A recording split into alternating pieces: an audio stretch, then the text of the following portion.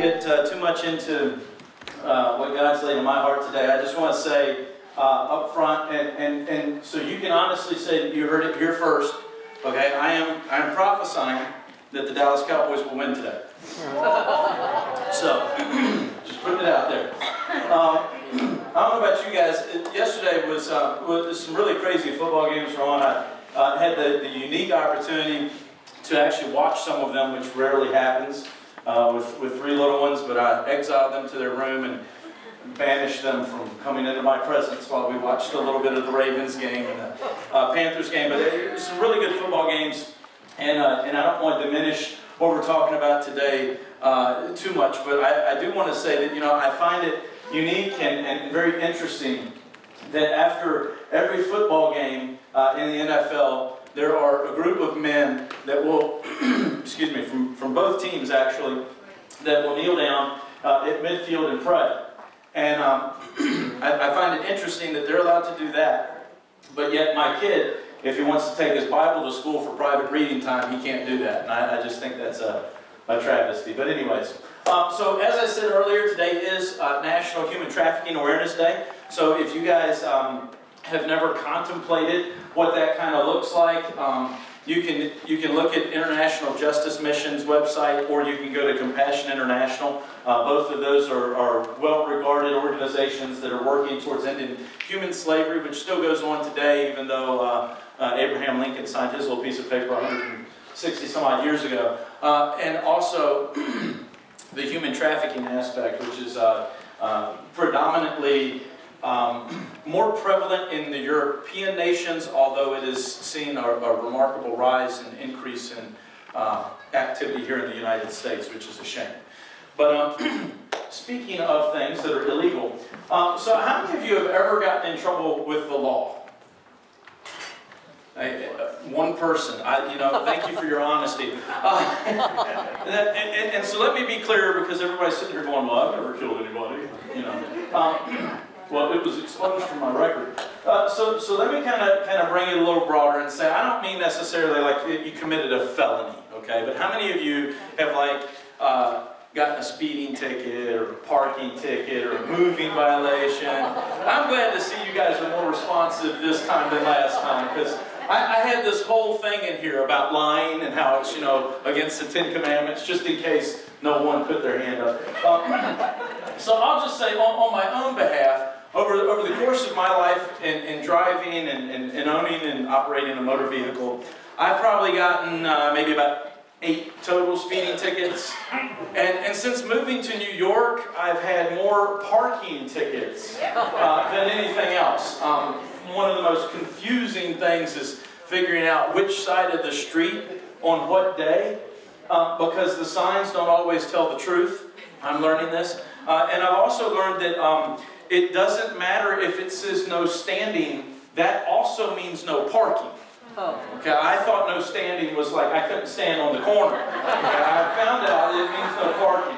So, you know, in the South we use very literal terms. You know, no parking means no parking right? No standing means no standing.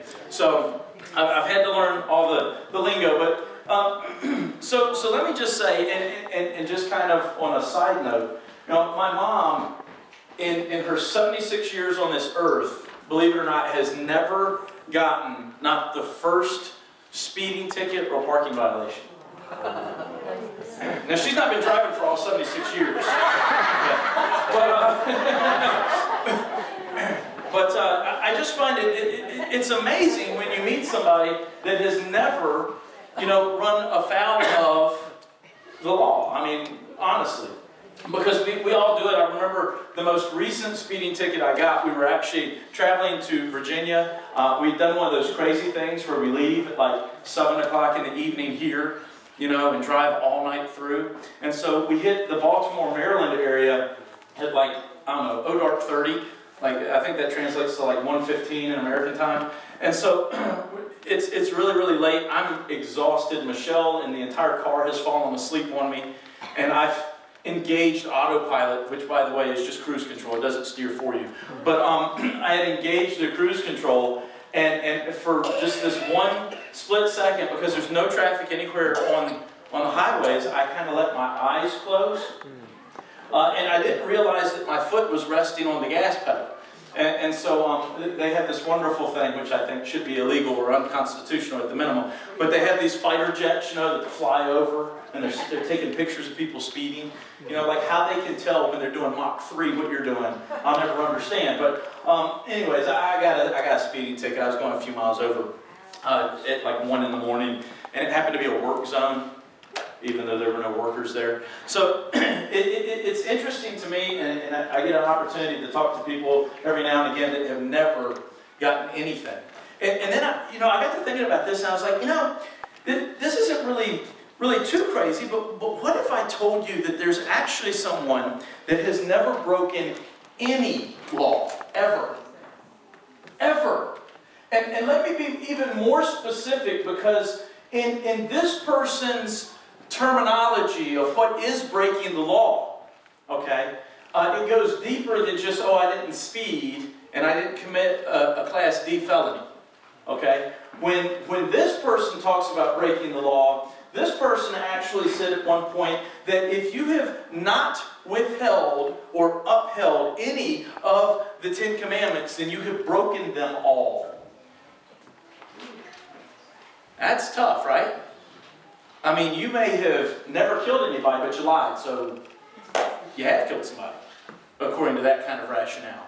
And so, what I want us to do today is I want us to take a look at the life of Jesus, specifically one, one little section of, of his life, because I think it's really important that, that, we, that we understand the, the, the depth of the law in which Jesus never violated. And I think it's even more important for us that we understand the actual principles and context behind the laws that he never violated. Because if you can do that, if you can kind of understand where Jesus was coming from, and not just the fact that, oh, well, he's the Son of God, so he's not going to break any laws, and, and I give you that. That's a great, a, a great piece of reasoning. But, but the problem is, is that there are some laws that the principle of the law is more important than what the actual law is. And he never violated the principles of the law. And so, what I want us to do today, if you've got your, your, your, your different uh, Bibles or items out, is go ahead and turn to Matthew chapter 5. This is probably the next two chapters in Matthew 5 and 5 through 7. Uh, handle one of like the most famous sermons that's ever been recorded in human history. Um, better than Paul when he went to Mars Hill. Uh, it, it, it's mo- the most profound bit of teaching and preaching that you will ever hear, and it is the Sermon on the Mount. I mean, this is probably the epitome of dialogue, and, and in fact, in some seminaries, they actually teach you how to preach based on the Sermon on the Mount model.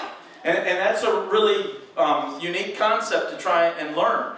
But what I want us to do is I want us to really emphasize the fact that while in the fact that Jesus never broke the law, he actually revealed something to us not only about our hearts, but also about his heart when, when he did this. And, and, and so let, let, me, let me throw out this statement. Matt Chandler, uh, a pastor in Dallas, Texas, wrote a book called The Explicit Gospel. If you haven't had a chance to read it, you should. But consider this statement. He says, quote, the problem is that, as we have demonstrated, there is a chasm between God and us. And the problem, compounding that problem, is that not only does our sinfulness cause this chasm, but our sinfulness prevents us from being able to bridge the chasm ourselves. The same law of God that diagnoses our depravity cannot cure it. We are not just down, we are out. There is no pulling ourselves up by our bootstraps in this situation. We have dug ourselves into a grave too deep to climb out. We need radical intervention. And then he does a dramatic thing, which in reading is really hard to pick up on the dramatic things. But he, he, he, he does a paragraph shift. Okay? And he indents a little bit. And then he puts these two words enter grace. Enter grace. And what I want us to do today is I want us to talk about how this thing, that in order for us to get out of this chasm, because we're all stuck in this chasm at some point, if we have not accepted Christ as our Lord and Savior, there's a chasm between us and God. If we are a Christian and we've accepted Him, but we, we have allowed sin to creep back into our lives and we're not addressing heart issues, and let me tell you something the heart issue is far more important than the action. And Jesus talks about that. But if we allow heart issues to get in, into our life again and these sins creep back in, what we do is instead of the chasm, because we've already crossed that, what we do is we erect a wall. And some of us have walls as thick as the walls of Jericho. And some of us have no walls, and praise God for that. but let me encourage you that while we're looking through this today, is that the only way to get in between our, our, our depravity and where God wants to meet us with grace, the only way to get there is, is to actually allow God's grace to enter the situation. You may say, well, that sounds like you're, you're kind of double talking here. Well, no, work with me here for a second. You see, God's grace, from the moment that Jesus stepped on the face of this planet, in fact, even stepped back further to creation, when God was in heaven and he was speaking things into existence, his grace was already there. What we have to do is we have to recognize the fact that the grace of God is just as eternal as God himself. But what we have to do is we have to allow that grace to intervene in our lives.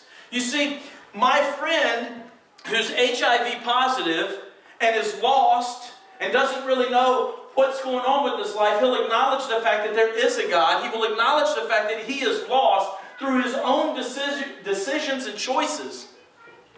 And he will tell me that I'm so lost, but I am so desperately seeking to be found. But the thing is, is that God's grace is never going to meet him until he says, okay, God, I need your grace. Please shower me with your grace. He has to allow God to do that. Because we are not robots. God did not, you know, create us to where, you know, if you do this action, then, then you know, this is what you'll do, and this is how you'll be. None of us are pre-programmed. The only thing we come into this world already like pre-programmed with, if you will, is our own sin nature. That's the only thing we step into existence with. In fact, for those of you who are dads, I want you to think back to the first time that you realized your toddler could understand what no meant. And then remember what he did the first time you told him no. Because for my toddlers, it was always, no, no, no, Camden, no Jack, no Riley, don't touch that.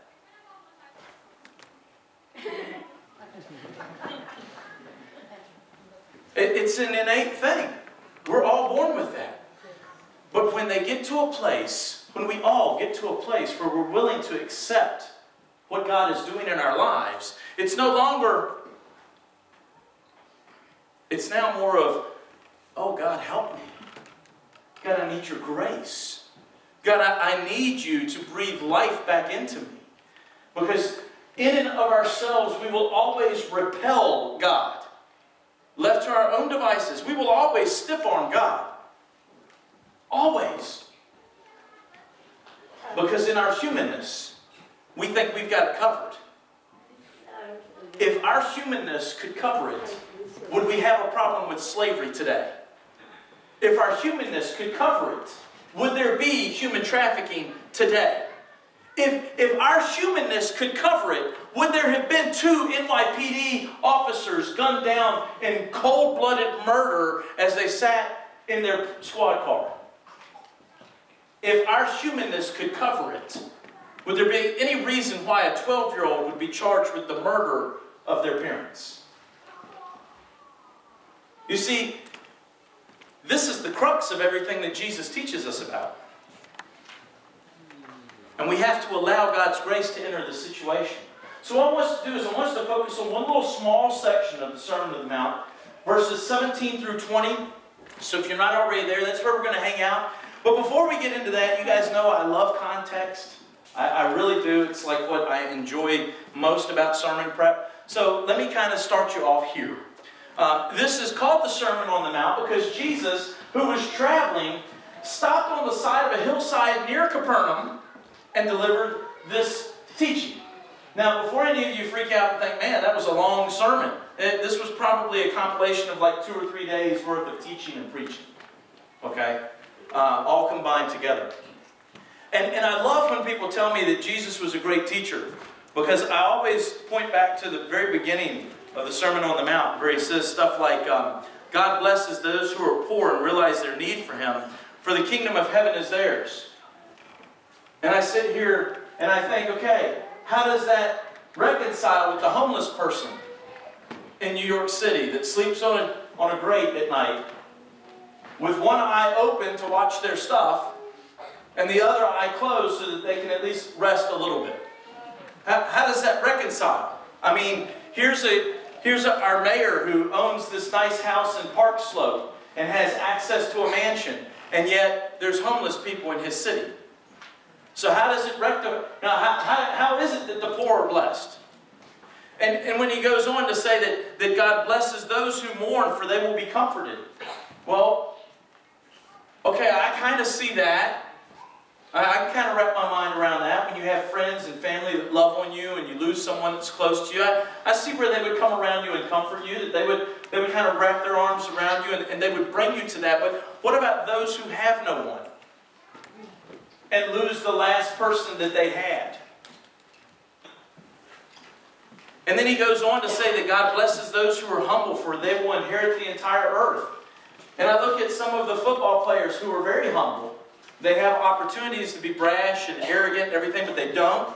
And yet they can hardly ever win a football game or a Super Bowl or whatever. Whatever the, the achievement of success is that they're looking for. Then I look at, eh, eh, you know, I take a step away from that because it's really kind of hard to idolize a multimillionaire. So then you have to take a step down, right? And you say, okay, well, what about that guy that I know that lives on my street that you'll never know the things that he does for people because he does it without trying to get adulation. But yet, everything like that could happen to this guy happens, and he continues to just grin and bear it. How about your pastors? I mean, most pastors, believe it or not, live below the federal poverty line. Now, you don't hear most of your pastors getting up and begging for pay increases or pay raises or groceries or anything like that. But when I hear teaching like this, I have to sit and I have to think, okay, I wouldn't call Jesus a good teacher. Because it's hard to wrap your, your mind around some of these ideas. Now, as a pastor, before I get stoned for heresy and fired tomorrow, understand he's not a great teacher. He's a revolutionary. In his day and time, what he's saying there went against all the cultural standards went against all the religious standards, went against everything that common culture and common thought process of anyone that had half a brain would think. Their culture, believe it or not, although it has its nuances, is not much different than ours today. We're all about killing the person in front of us on the corporate ladder, doing whatever we can to squash them into the ground so that we can advance ourselves. We're all about making sure that, hey, I'm going to get mine, okay? And you worry about yours. In fact, I heard it even said that um, my, my son and I, my oldest son Ash, we were sitting down talking one night. We were making fun of, of all these horror films. Now, I, I don't watch horror films, but we were making fun of them. Because uh, everybody's, I'm sure, seen at least one or a, a scene of one. But uh, he was always talking about how, you know, when the zombie apocalypse happens, you know, there's always, you know, one guy that always bites it there at the end. You know, he's the last guy to die or whatever. I looked at Ash, I said, listen, if the zombie apocalypse happens today, all I have to do is trip you and keep running. Okay? Because they'll get you, but they ain't going to get me, right? And, and that's a joke, and I mean, we, we all kind of joke about it, but look, that's how we live life. That's how we live life. I watched last night as one of my neighbors, and he actually pays for this parking spot on our street. And so he's sitting there, and for like 20 minutes, he's laying on his horn because somebody is in his parking spot.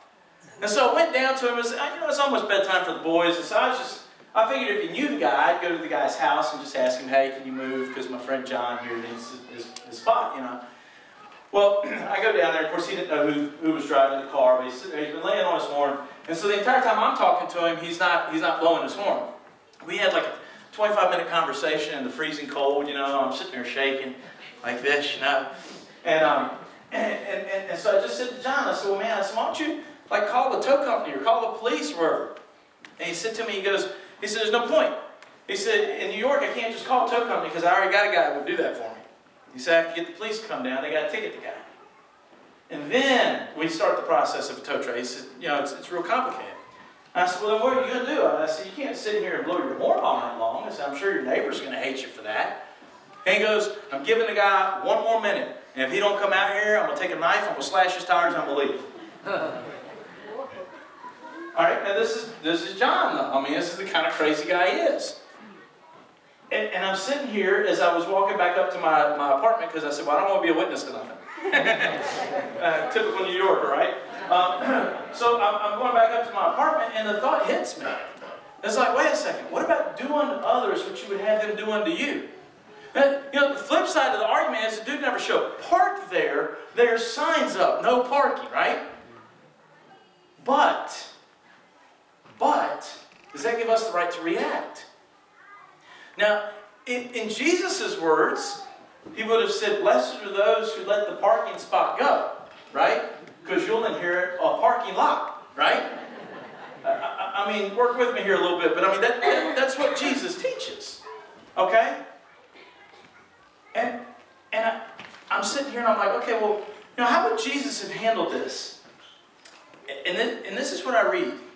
I said, uh, this is uh, verse 17. Don't misunderstand why I have come. I did not come to abolish the law of Moses or the writings of the prophets. No, I came to accomplish their purpose. And I have to stop there. Because God didn't come to do away with the laws of man, the laws of Moses, the writings of the prophets. He instead came to accomplish their purpose.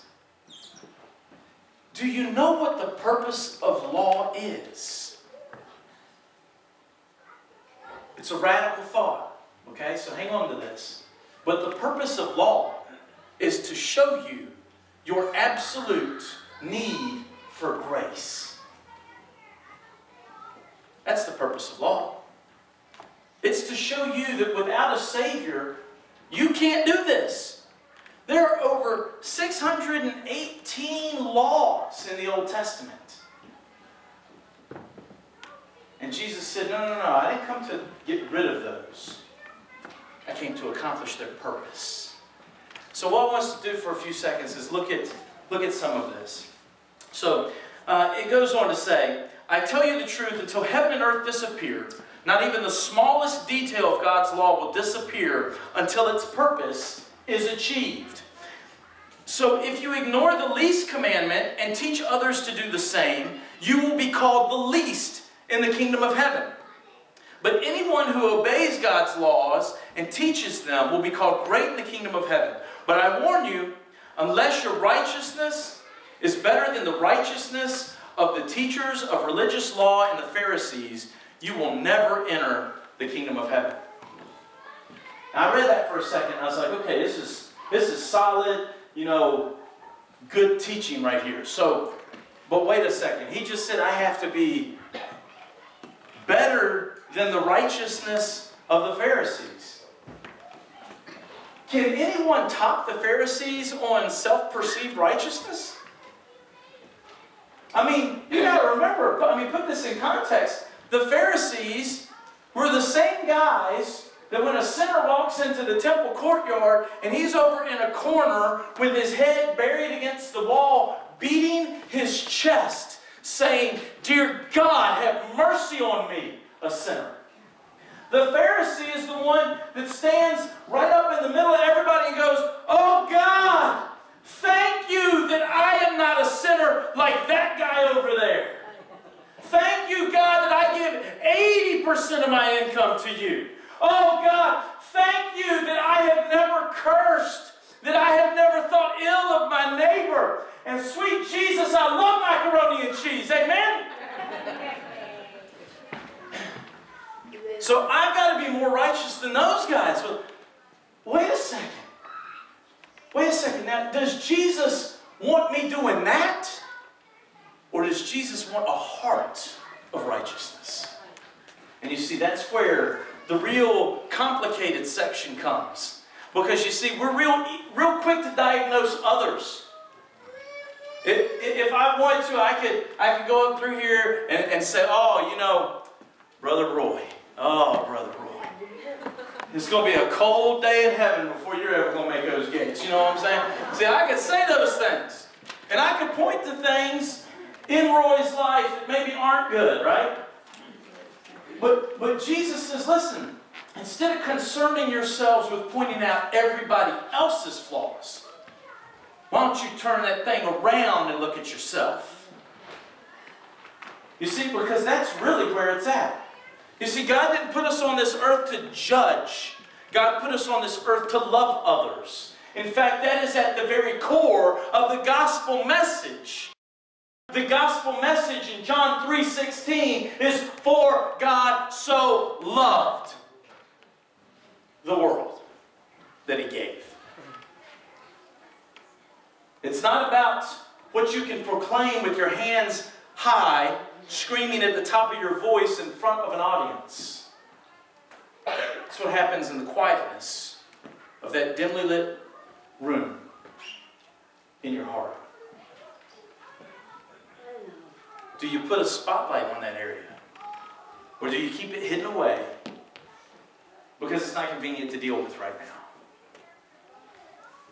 now? so let me kind of unpack what we talked about a little bit. I'm going to do like the, the amplified message slash um, almost heretical paraphrase of this passage, so don't, don't kill me. But it, it, it would look something like this in today's language. Look, don't get what I'm doing twisted. I didn't come to eliminate or replace the Ten Commandments. All right? Y'all can step off a little bit, okay? I'm not here to do away with the 618 laws that Moses gave, or the prophecies from the prophets, or the writings, or any of that stuff. Y'all just back down. All right? What I came to do was I came to tell you that I'm going to obey perfectly. Me, I'm going to obey perfectly or complete the teaching of or fulfill fully the Old Testament prophecies. That's what Jesus is saying. I'm not here to do away with stuff. I'm not here to eliminate things. I'm not here to, to tell you that, oh, this was wrong and I've got it all figured out. I'm not trying to do away with the revelation of God's will through the writings of the prophets or the Old Testament prophecies. Instead, I am here to obey fully, to fully fulfill those prophecies. That's why I'm here. And because I'm the guy that's here, and this is what God wanted me to do, and because I'm God's son, and because I am the fulfillment of these prophecies, let me talk to you a little bit about the proper way to do this thing we call life.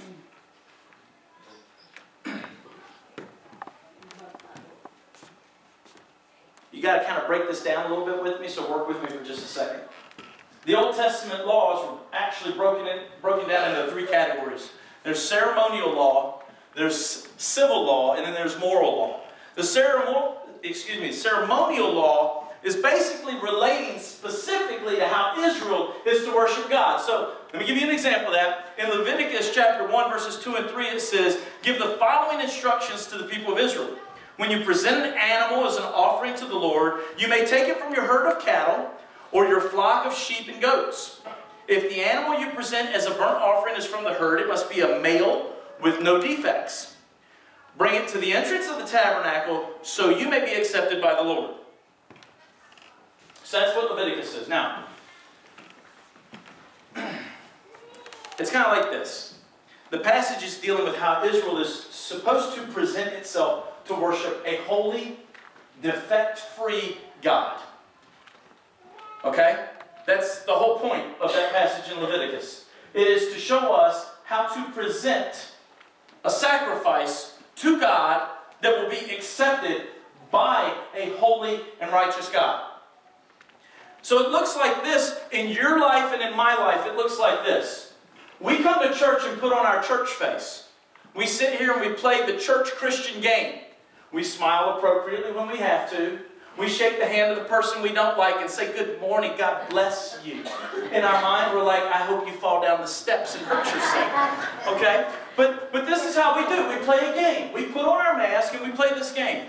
When the pastor says something that we feel he's looking for verbal affirmation, sometimes we'll, amen.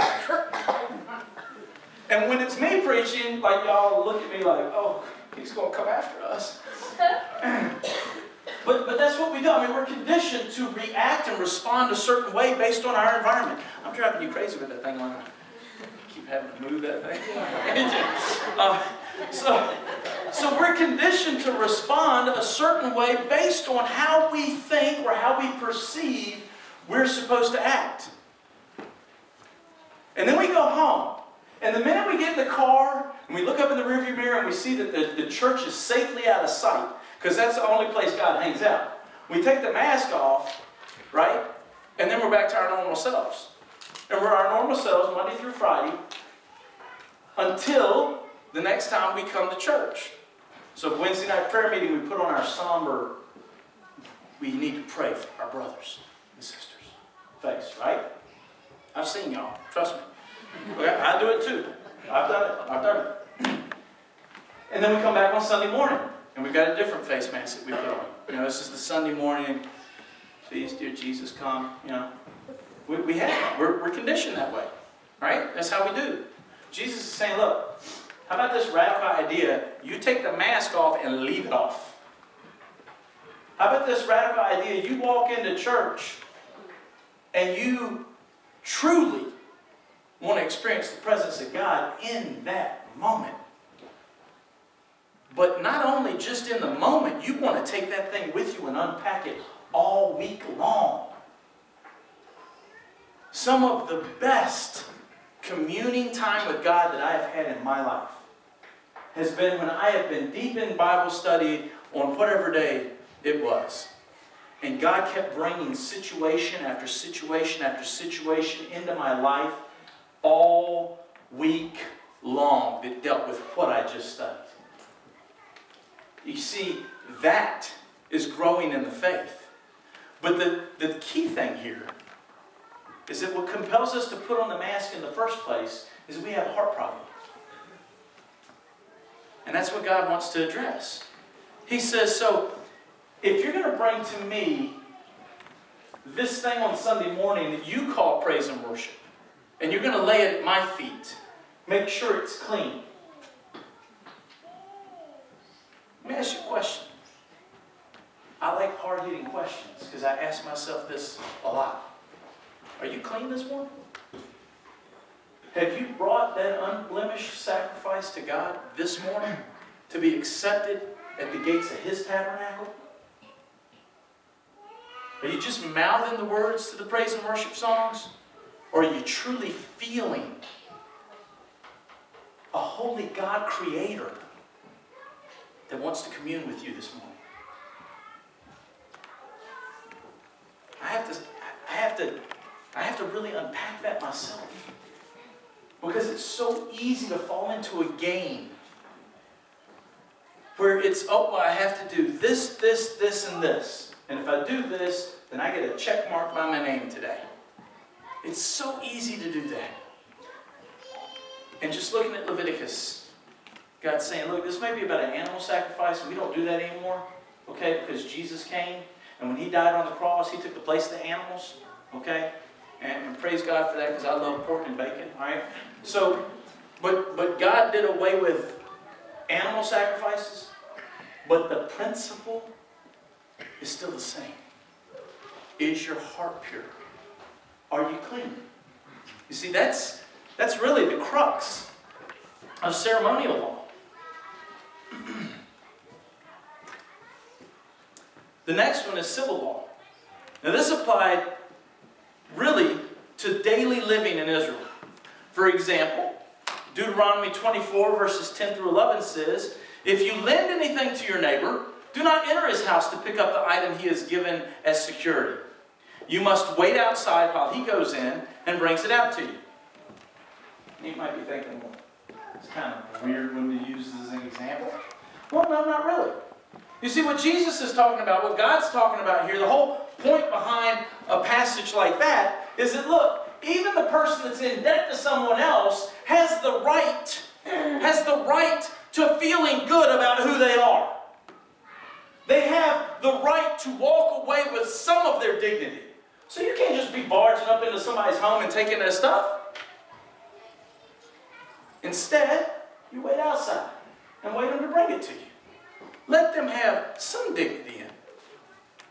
Now, if you fall behind and a collection agency is going to come take your bed, try enforcing that because it ain't going to happen. All right?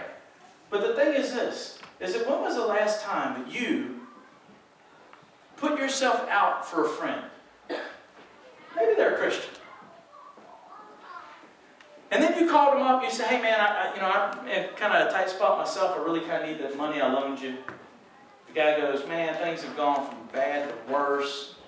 Well, you told me you give me the title of your car. You know, I, man, I hate to do this. Man, I really, really need the cash. Can you give me the title to your car? Well, probably y'all have never done that. Um, I would never. Somebody's car title, I wouldn't do that. But but I mean, understand. The guy owes you.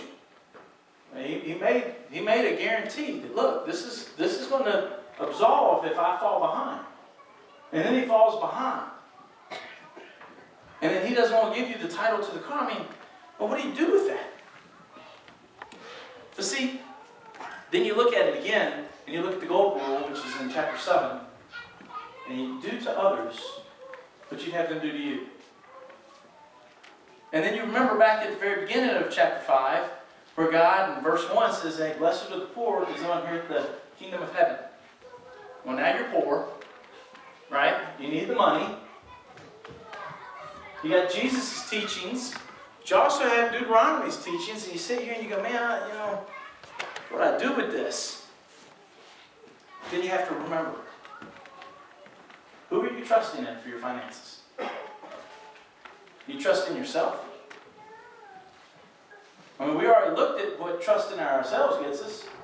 The world we currently live in, right? So we can't fix it. Who gave you the job? I've seen a couple of y'all. It ain't your good looks, all right? I'm just saying. Love you, but it, it ain't that, right? so who gave you the job? Oh, the, the easy church answer, since y'all got your mask on. Real easy one. Oh, Jesus. God, amen, the Bible, right? It's true, God gave you the job. Let me ask you a question.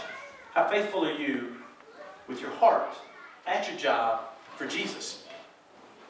Now, I ain't talking about necessarily beating people over the head and preaching to them about the cross.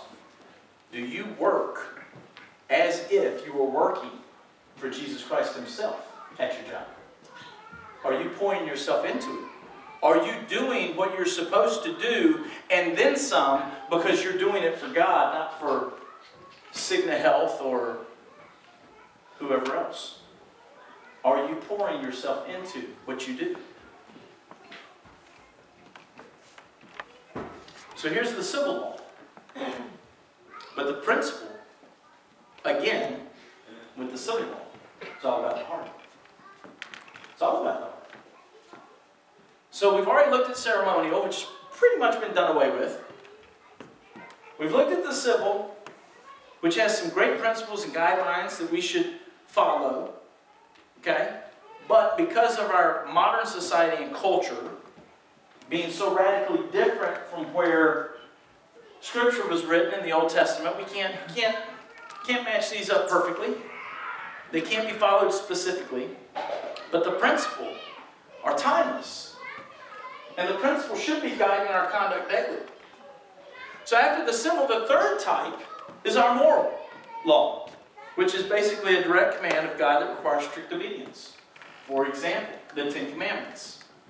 A nice one, Exodus 20, 13, don't murder.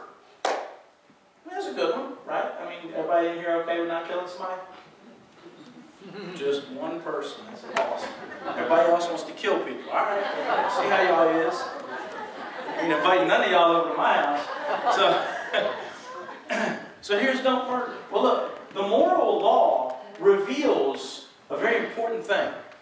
The moral law reveals a very, very, very important thing because it is revealing the nature and the will of God. You see, the, the, the will of God and the nature of God, which by the way still applies today, okay, is to compel us to bring glory to God. It is all about bringing praise back to God. Jesus' life on this earth was not so we could look back and say, well, he was a good teacher. It was so we could look and say, praise God that he loved us enough to send him here. The point of all of Scripture was grace entering the scene through the cross and the tomb. It's not because Isaiah was a great guy to read about, although he was. It's not because Jeremiah had a crazy story, and he does. Okay? It's not about Noah and the flood, although that's pretty cool. It's not about Abraham and Isaac. It's not about the disciples. It's not about the upper room, the lower room, the lower west side. It's not about any of those things. The whole point of Scripture screams out a cross and a resurrected tomb. Because on the cross hung grace and out of the tomb came salvation. And that is what each and one of us, each and every one of us needs today. We need more of this. So when we talk about, hey, you know, Jesus obeyed these laws completely, he never sinned, he, he never did any of these things, it's not about what he didn't do. It's about what he accomplished just a few months or years later when he hung on the cross and stretched his arms wide so that he could embrace every single person, nationality, sins upon himself. And then for three days could go down and fight the devil in hell on his own turf, kick him in the shin a couple times, take some souls with him, and then pop out the tomb on the third day. And in that process, he said, I know Paulo Escuro on such and such day will kneel and ask me to be his Savior. And I know Den Den will on such and such a day kneel and ask me to be her Lord and Heavenly Savior. And I know Steve Layne will one day kneel down and beg and plead with Jesus to come into his life. And I will grant salvation and grace and righteousness and mercy to these individuals, even though they don't deserve a lick of it. And our job is to make sure that the heart that we bring in here, when we look to be edified, when we look to be encouraged, when we look to be equipped, when we look to the church to help us be more uh, equipped and a better representative of them outside of these walls, the thing that we're supposed to do is bring in an open heart, a pure one. And in some cases, that purity happens while we're here. And that's awesome. But how many of us walk out the door taking that dirty baggage with us? How many of us refuse to open our hearts? And we refuse to clean, to, to, to do the things we need to do to cleanse ourselves. I mean, when was the last time you got on your knees, whether it was here or home, in your prayer closet, whatever, and just begged God to take a Brillo pad to your heart and clean you and purify you. And if you're not doing that, why? Because each one of us has a little section of ourselves that we hold back from God. Each one of us does. We, we have this one little section we get tucked away back here. And a lot of times we forget it's even there. We go on about doing things and praising Jesus and loving people and spreading the word. And we do all the things we're supposed to do. And we forget that that little part's back there. And then one day, when the circumstances are just right, it pops back into our mind. Oh, forgot about that. And see, we have a choice then. We hit our knees, repent, beg for purity, beg for cleansing, or we let it run. Maybe slide a rug over it, walk out the room, keep the door shut, put stuff in front of the door. And Jesus is sitting here saying, No, no, no, no, no, no. He's, he says, Listen, if you ignore the least commandment and teach others to do the same, you will be called the least in the kingdom of heaven.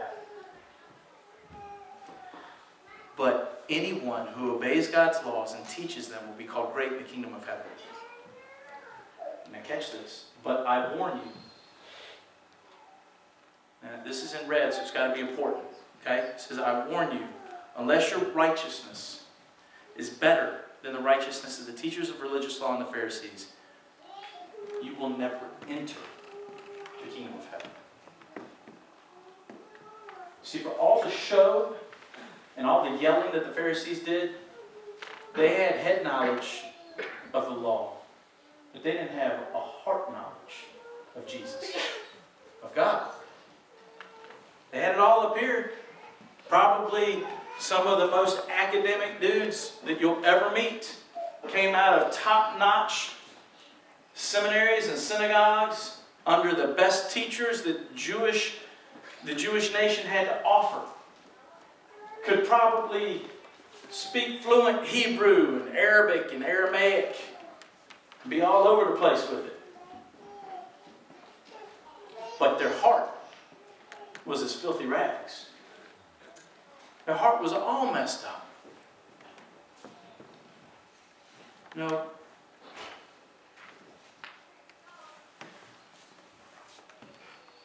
Matter, no matter what the crux of this passage looks like to you when you read it, no matter whether you like to dig into it and figure out what this kind of meant, the one thing, though, is that throughout all of Israel's history, throughout all of it, these laws were often misquoted and misapplied.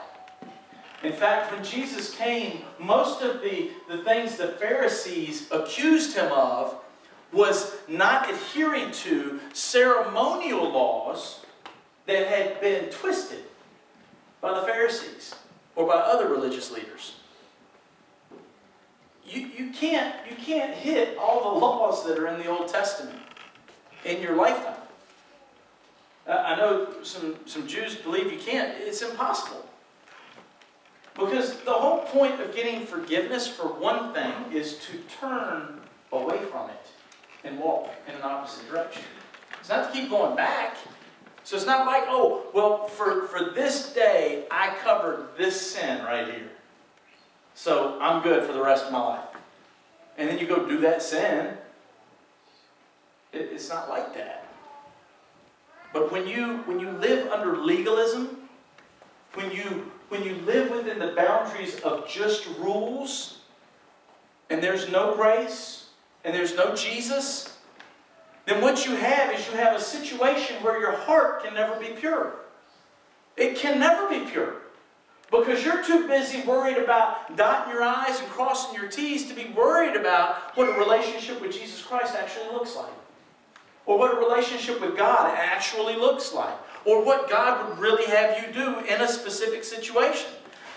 So, Jesus was intent on bringing people back to the original purpose of the rules. And the original purpose of the law, the original purpose of the rules, was to show people an absolute need for a Savior, a need for grace. And Jesus is sitting there going, Man, in just a short period of time, I'm going to be the embodiment of that grace for you. I'm going to usher it in in a way that will have this earth spinning on its ear for thousands of years. I'm going to do something so radical and so crazy that people will fight wars over whether or not it actually happened. And there's going to be relics that they're going to fight over and pretend that they're discovering and guarding for thousands of years. But it's all really boiling down to one thing, and that's grace. It's grace. In our vision statement, we say that we want to have a gospel centered mission and life in our service and all these things. We want to be gospel centered. We're doing the Bible study for Sunday school, gospel centered church. But how many of you actually recognize the fact that the gospel message contained in Scripture all points to one place? It all points to three days. We're guessing somewhere in April. Where the, the, the Son of God hung on a tree, was buried, and three days later rose again. That's gospel centered message. And when you have friends who are sitting there going, Oh, I have no hope, well, then you need to do what First Peter tells us to do. We should always be ready to give an answer and a defense for the hope that we have. Or we should go a step further, maybe do something like Romans 1.16. Romans 1.16, I didn't memorize this one.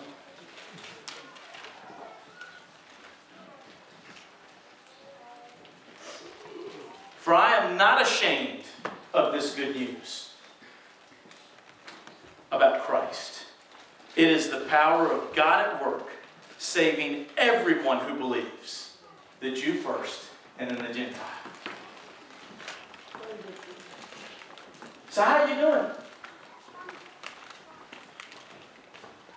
How are you doing with God and what He commands us to do?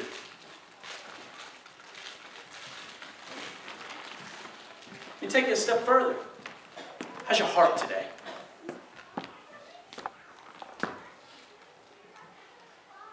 You see, Jesus will tell you, you can read this further into the, the Sermon on the Mount, all in there. But Jesus will tell you, look, if you harbor hate in your heart for your brother, you've committed murder. If you look at a woman in lust, you've already committed adultery with her. If you don't forgive someone that did something to you, I'm not going to forgive you. If you won't acknowledge me before man, then I will not acknowledge you before the Father. These are great teachings. They're awesome when you understand the heart of it. The heart of every single one of it is true. Where's your heart today? When was the last time that you looked in the mirror and you said, okay, God, I need you to be real with me today?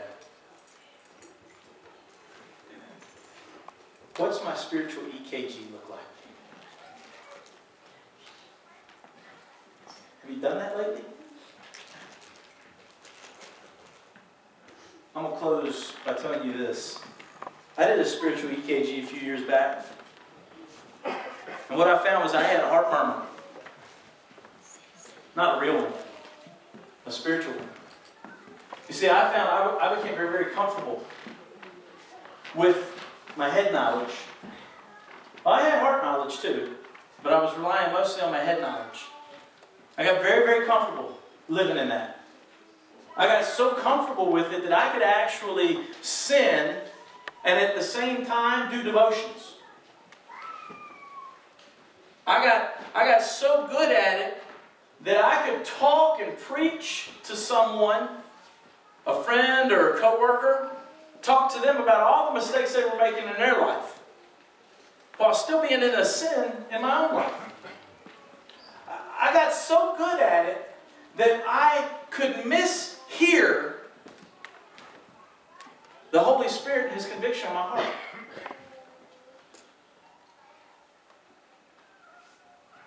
But then, through a series of events that had to transpire in my life to get my attention, attention. And I'm not perfect because I'm just a man. I put my pants on one leg at a time just like everybody else. But I've gotten in the habit of examining myself a little bit more frequently than before. Because you see, for me, when I die, I want my kids in that room, little terrorists that they may be, I want them to look back and say, you know what? My dad wasn't the best man, but he sure did love God and he loved us. I want my wife to say, you know what? He's never been a perfect husband, but he sure did love God. And he loved me. And I want my legacy to be that I always pointed back to Jesus. Because when I hit the pearly gates, whenever my time is, I want Jesus to say, Well done. You see, that, that is what God means when He uses His Son to say, Blessed are the poor, for they will inherit the kingdom of heaven. That is what Jesus meant when He said, Do to other people what you would have them do unto you. You see, it's all about the. Let's pray. Dear God, we come to you this morning. And God, I, I thank you for what you've shown me through this